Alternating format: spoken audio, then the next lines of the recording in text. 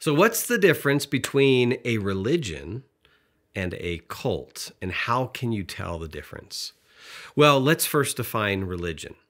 Uh, a religion would be some kind of organized system of belief and practice that uh, really tries to answer life's most fundamental and significant questions What is real? Uh, does God exist? What is the purpose of life? How should I live my life?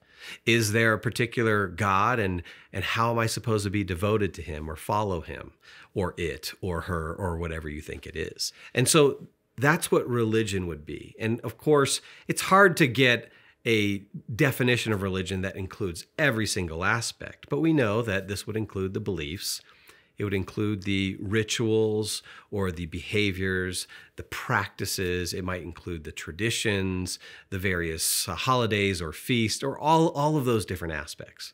But there's some kind of organization to them, and those that the organization is centered around certain beliefs that we have about the ultimate, about ultimate reality.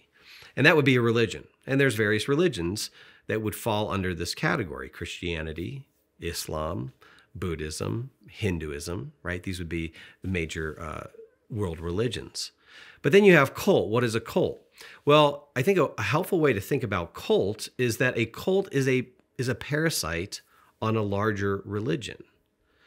And so you have a cult of Christianity. You have different cults of Islam you have different offshoots from these larger religions. And you've got to have the larger religion in place for there even to be such a thing as a cult.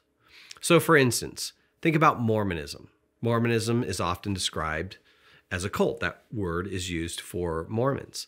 And of course, sometimes Mormons will take offense to that characterization. But we can use the term cult in two distinct ways. First, there's what you might call a theological cult the, the, the cultish behavior has to do with the theology or the beliefs. And so the cult will take, uh, will adopt the beliefs of that larger religion, but will then change them in very fundamental ways. And what you end up having is a radical departure from the original beliefs. So in Mormonism, there is a view that uh, there's a heavenly father uh, that God is our Heavenly Father and that Jesus exists and He's our Savior and the Holy Spirit exists, right? So there are some similarities there.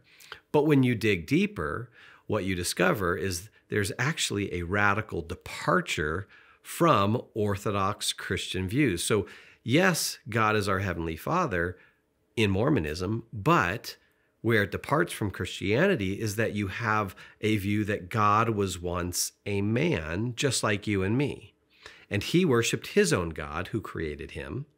And then he eventually progresses and becomes a God and is awarded his own universe, which he is ruling over now. And he has his own goddess wife, and they're procreating and they're having spirit children. And you and I are those spirit children, right? Those are the beliefs of Mormonism.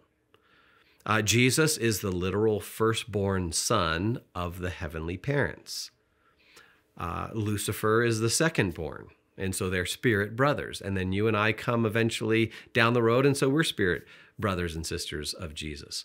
Okay, now at this point, I'm not even assessing the truth or falsity of such claims.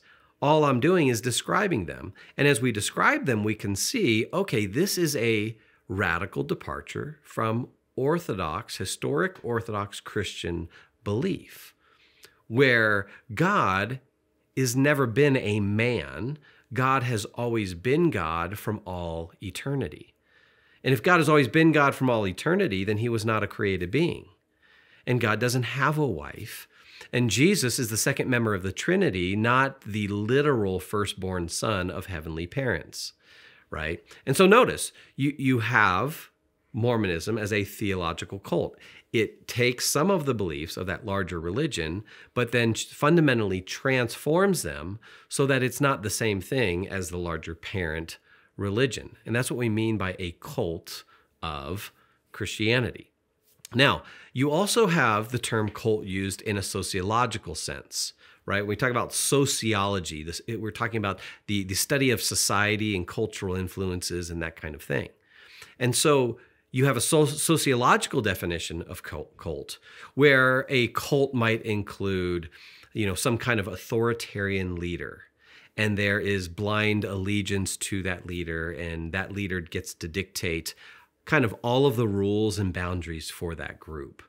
And it's not merely a, you know, a sacred text like the Bible that, you know, has divine origins, but this person speaks on behalf of God themselves and they have authoritarian rule.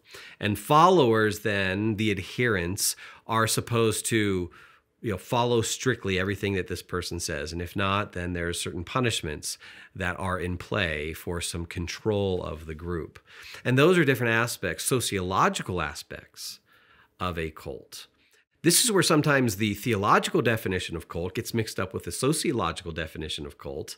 And a group like the Mormons will say, please, please, please don't call us a cult because it has all of this other sociological baggage. And when we think of cult in that sense, we're thinking of actually a smaller subgroup of Mormonism, like the FLDS or the Fundamentalists Latter day Saints uh, someone like Warren Jeffs, who was this prophet in the FLDS church who exercised absolute control, uh, who actually even abused uh, women and, and, and female children and took them as you know young brides and controlled the group and lived in a compound in Colorado City on the border of Utah and Arizona, right? And eventually was arrested for all of his criminal activity. Okay, so we sometimes will then kind of say the word cult, and that's what we're referring to, but it's not the same thing as a theological cult. You can be a, a theological cult, you can